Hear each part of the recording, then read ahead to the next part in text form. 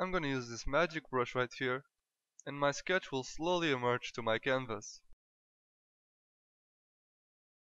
Now I'm gonna use this artificial intelligent brush.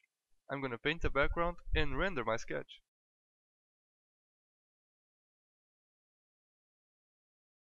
Just like so.